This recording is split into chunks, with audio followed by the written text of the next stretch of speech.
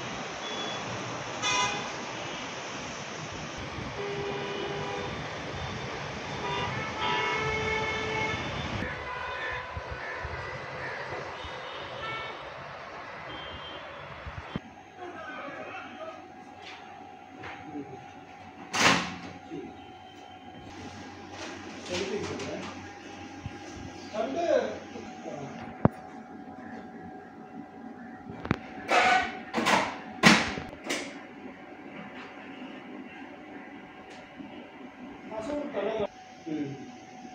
ਤੂੰ ਦੱਸ ਦੇ ਕੁਛ ਹੋਣਾ ਠੀਕ ਹੈ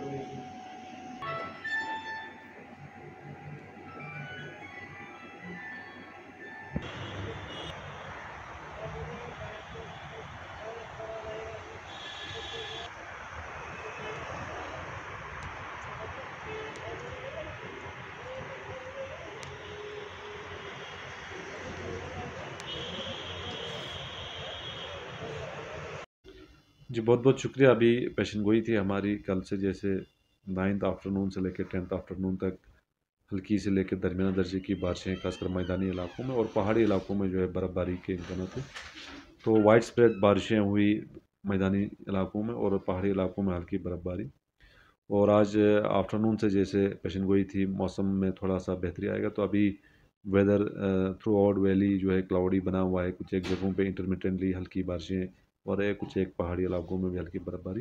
तो ग्रेजुअली विथ टाइम जो है इम्प्रूवमेंट आएगा और होपफुली कल से जो है वेदर ठीक है और लगभग नाइनटीन नवंबर तक मौसम अमूमन ड्राई रहने के चांसेस हैं throughout Jammu and Kashmir. ये बर्फ़ बिल्कुल लाइट स्नोफॉल हुआ है सारे हायर रीच में और जो रोड्स हैं कुछ एक जगहों पे बंद हैं, कुछ एक जगहों पे ट्रैफ़िक चल रही है।